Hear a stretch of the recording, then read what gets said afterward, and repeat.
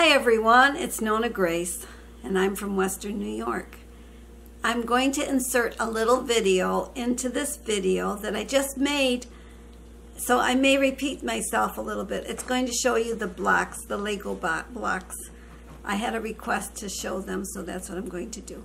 Today I wrapped the rest of the presents for the kids and for my children and my husband and I spent a lot a lot of time I actually had some paper that was so old, it had been wound for so long that when I went to wrap it, it would like curl back in and then you had to fight it with your arms and try to make it stay straight.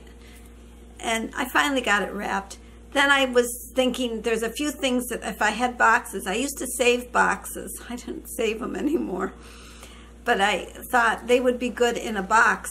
But because I don't save boxes, I went upstairs. I do have gift bags that I could use and so I used gift bags and plus I got one from Karina and that came in very helpful, very handy.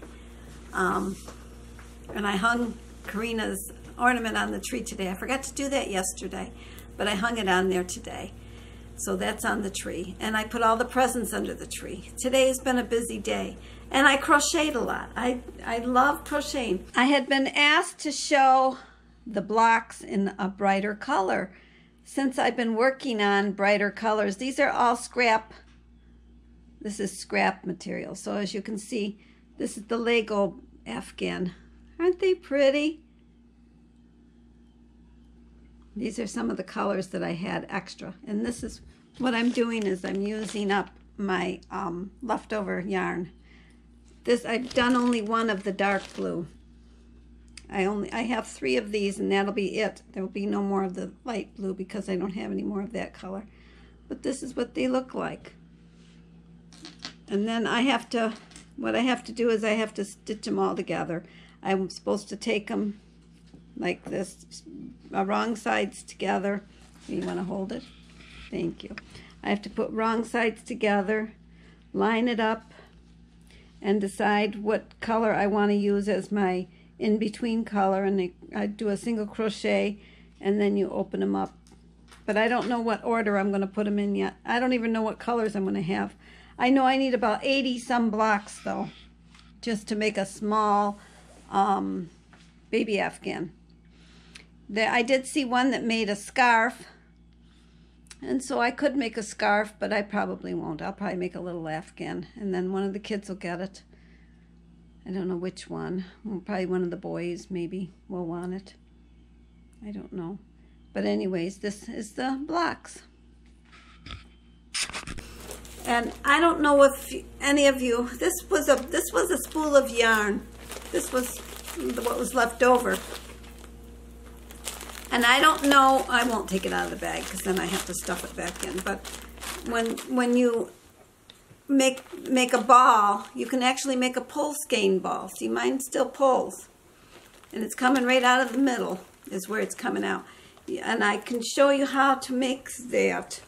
I'll make a small, what you do is you, if you want to make a pull skein, because sometimes you can buy yarn that's not in a skein, and what you do is you make like a little bit of a tail, and then you wrap around your fingers and make your fingers kind of loose, Jim, you want to make this come out? Because I'm going to make it come out of there. Um, hold the bag so it doesn't follow me. I'm going to roll it around my hand and then you make sure that you just leave it loose and keep that little tail free. And you roll it around your hand again in a different direction and then keep that little piece free and then roll around your hand and keep it loose because you want the middle to be very loose. And after you've got the middle, where you think you've got enough there, then you can start winding like you're winding a regular ball. And you just wind, wind, wind. And you make sure you leave this little tail free. This is how you make a pull skein out of a leftover yarn. And then say, I'm, say my ball was already all put in. I'm not going to do it all. And then you just take it and you pull. Like magic. See? And you're making your, you're doing a pulse, you did a pull skein. So if you have yarn that's left over and you don't want it to tangle, you can make your own little ball. And then I stuck it in a bag to make it easier to keep it from getting dirty is the only reason I put it in there. So that's your lesson of today, I guess, teaching you how to make a pulse gain. And I'm crocheting with all my leftover little bits and pieces, so I'm going to have a lot of different colors. Maybe nothing will match, and maybe it all will look, it'll look good together. Because Legos, when you dump them into the basket, they're just all mixed up anyways, so it won't matter. And that's it for today. I hope you all had a great day, and I'll talk to you all again tomorrow. Bye.